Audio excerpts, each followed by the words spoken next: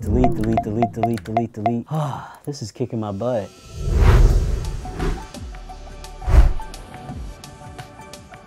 My name is Emil. I work at a large aerospace and defense company as a ground satellite systems engineer. We have these satellites that are sending down telemetry, and if that telemetry is alarming, we have to sort of come in like the firefighters and try to rectify the situation in order to prevent something really bad happening. Today, I'm playing the Kerbal Space program, and we are making the most ridiculously expensive rocket ever.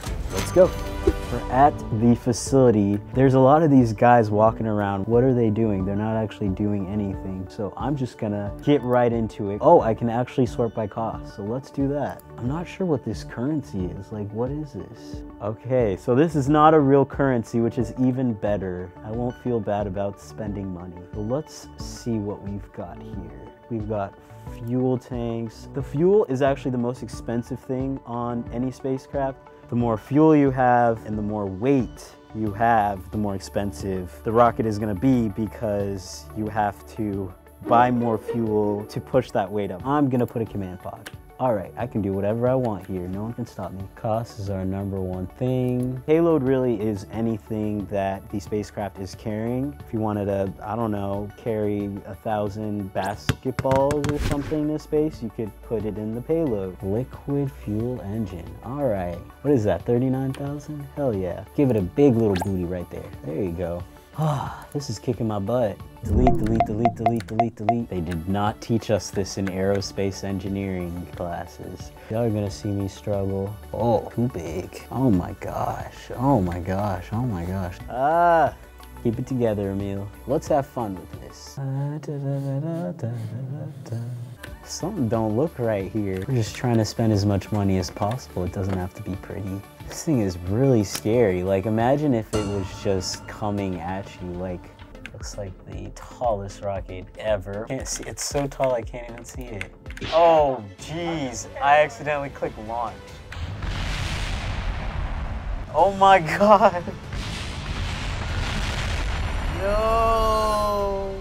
I failed my professors, my company, my mother. All right, let's get out of here. All right, there you go. So let's keep working on this mess of a spacecraft here. I think I like that shrimp one, so I'll keep using one of those. I also like shrimp in real life, so it works out. I think that's four layers of shrimp. Shrimp. Yeah, let's make it look kind of dumb. Okay, cool. Just kind of want it to look good, but dang.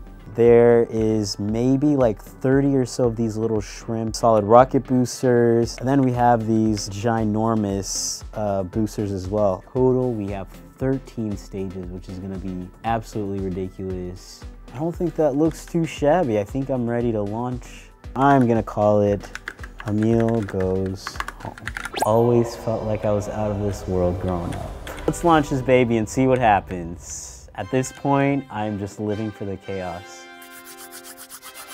Jebediah, Bill, Bob, see you never.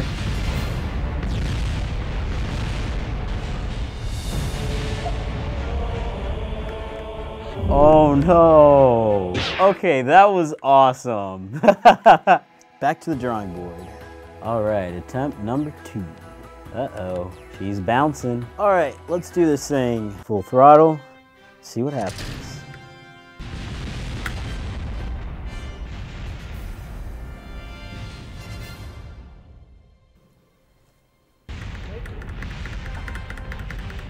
Just let it happen. Back to the drawing board. Third time's a charm, right? Failure is not an option. So let's do a quick check on how much this costs. Our goal was to make it as expensive as possible. So it looks like this spacecraft costs 440,830 bucks. So that is a lot of money. Let's test this bad boy out. Valentina. Let's get Valentina safely to space. We gotta do it for her. Three, two, look, one. Look how excited Valentina is. Go. All right, it is actually going into the sky and not crashing. I gotta say, I'm very pleased. Valentina's kind of, kind of scared. Look at her face. Okay, we are in space. Oh, geez. Oh, geez. Don't know if Emil's going home, but Valentino's having a great time. This is a success. I'm happy with where we're at. I'm good with this. This is good. That was crazy. I've never played a game so difficult in my life. I came in here as an aerospace engineer feeling I was like I was gonna knock it out of the park. You really needed to know your stuff like to the 10th degree. That was like at least three to four times harder than my normal day job. You needed to have a lot of technical knowledge as to the anatomy of what a space shuttle is, what parts go together. It was super difficult, but super rewarding, and I'm so glad I did it. Yeah, this was a great experience, and I'd definitely play again.